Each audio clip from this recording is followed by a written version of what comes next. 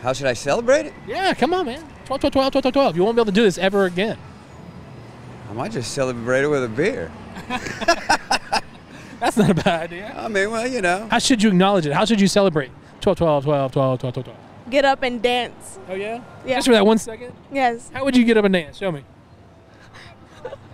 12, 12, 12, 12. 12, 12, 12, 12, 12. Awesome. Well, you should uh, put that number in your head and do whatever you can in your day to uh, magnify that number, Uh-huh. just to keep it in your head. Because some people, you know, they play the lottery, they keep a number in their head. That's so true. keep that number in your head because I never thought of it that way. Now it's all in my head that you said it. So, so celebrate the whole day, not just that second. exactly. Yeah. At 12 minutes and 12 seconds past 12 noon, it'll be 12, 12, 12, 12, 12, 12.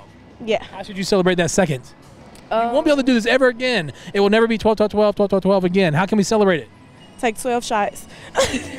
Whoa. Okay, okay. Okay, um, eat 12 donuts. Okay. Yeah. Yeah, so just continue the 12 Yeah. somehow. Yeah. 12 shots and 12 donuts. Yeah. Thank you. No, thank you. There you go.